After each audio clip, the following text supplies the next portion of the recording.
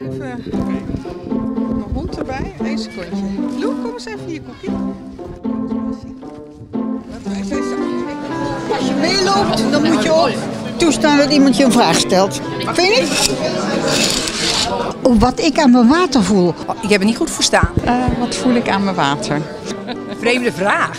dat we op een moment van eh, verandering staan, eh, dat er iets moet veranderen. Ja, ik denk, ja, ik denk toch bij water denk ik aan stijgende zeespiegel en dat soort dingen. Dus eh, ik, eh, ik, ik, ik maak me daar zorgen over. En daarom loop ik mee. dat we op een heel andere manier moeten gaan leven. Een heel andere manier met elkaar omgaan en op een heel andere manier met energie omgaan. Nou, eh, om te beginnen eh, douche, douchen we met zo'n eh, zuinige waterkop. dat wij met deze groep een statement maken.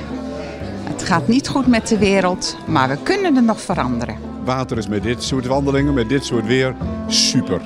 Ik voel in mijn water dat het schoon is. en dat ik het niet vuil wil hebben.